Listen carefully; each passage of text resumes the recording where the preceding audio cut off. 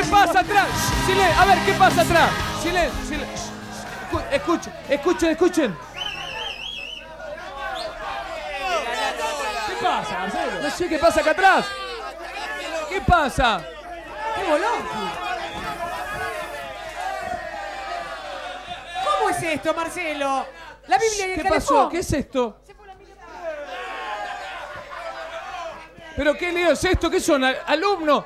¿Pero por qué ponen quinto año acá? ¿Por qué? ¿Qué es esto? ¿Eh? Faltó la profe, tenemos la libre. Ah, tiene, hora libre, faltó la... Y el director dijo que iba a venir, pero todavía no apareció, ¿entendés? Silencio, Oh. silencio, silencio, perdón. silencio, silencio. ¿El director del colegio? Sile- director del colegio, sí señor. Llegó el director, chicos. Como director, como director de esta escuela modelo, tengo que hablar seriamente con todo el alumnado. Tengo que hablar seriamente con todo el alumnado porque ahora se inicia, o ya se ha iniciado, mejor dicho, está por terminar, una de las épocas peores para el estudiante, que son los actos patrióticos. Yo sé perfectamente que este país es muy injusto con los actos patrióticos. Yo lo he tenido que sufrir cuando era chico, porque yo alguna vez fui chico también. En la época en que los dinosaurios todavía jugaban en la tierra, estaba caliente, que se podía hacer rayuela. Yo fui chico también y yo tuve que soportar el espanto de las cosas tremendas que ocurren durante las fechas patrias de la República Argentina. Las fechas patrias de la República Argentina son todas en invierno, señores. Son todas en invierno. Acá nada del 4 de julio los norteamericanos que tiran cohetes en bola. Nada que ver. Acá no el 14 de julio, que allá es verano, los franceses, Alonso Sanfán de la Patria están todos en bola. No, señor. Acá las fiestas son en invierno para que nos hagamos machos de chicos. Entonces hay que hacerlo. Las fechas podrían ser en verano. Acá el ciclo comienza el Día de las Américas y termina el 17 de agosto hasta ahora, si es que a algún otro imbécil no se le ocurre hacer algo en invierno también acá. En verano, evidentemente, los héroes se iban a Punta del Este a tomar sol porque no hicieron absolutamente nada.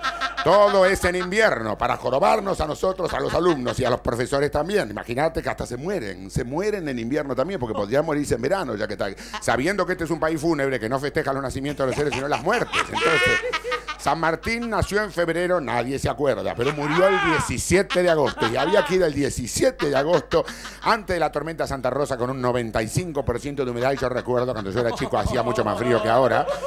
Porque ahora no tienen los inviernos que teníamos nosotros. Yo recuerdo que a mí me tocó, me tocó el año del Libertador General San Martín, año 1950. Yo tenía 10 años, era alto como ahora. Y claro, me tocó el año del Libertador General San Martín, que era el año del centenario, del 1850-1950. Entonces, eh, ¿quién estaba en el gobierno? ¿Quién estaba? Perón, estaba en el gobierno de Perón. Y entonces nos mandaban tres veces por día prácticamente, o tres veces por semana. Durante todo el mes de agosto de 1950, a rendirle homenaje al Libertador que tenía y lo sigue teniendo el mausoleo en la catedral. Un frío. La catedral.